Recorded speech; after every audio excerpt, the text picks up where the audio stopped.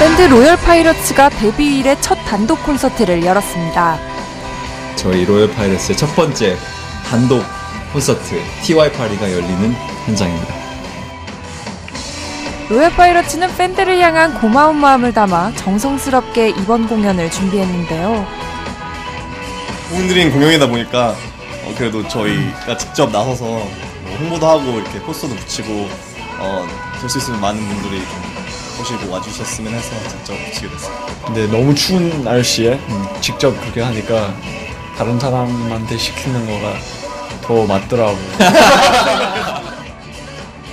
팬들 역시 멤버들에게 소중한 선물을 준비했습니다.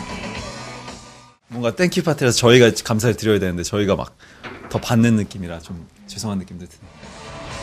이날 로열 파이러츠는 열정적인 무대는 물론 솔로 무대를 선보여 환호를 받았는데요.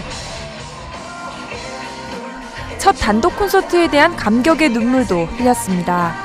데뷔한 지 지금 1년밖에 안 됐는데 음악은 10년 전부터 했거든요. 근데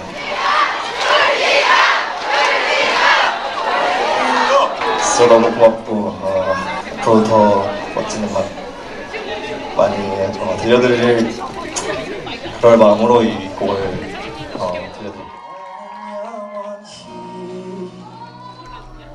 패닉의 달팽이를 부르며 울먹이는 수윤. 멤버들과 팬들은 그를 위한 깜짝 생일 파티를 열어 현장을 감동의 도가니로 만들기도 했습니다.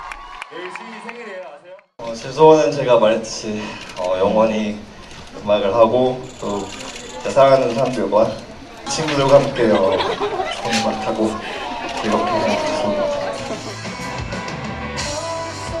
국내는 물론 중국에서도 실력을 높이 평가받고 있는 로열 파이러츠. 중국 팬분들도 되게 많이 늘었다면서. 장난 아니.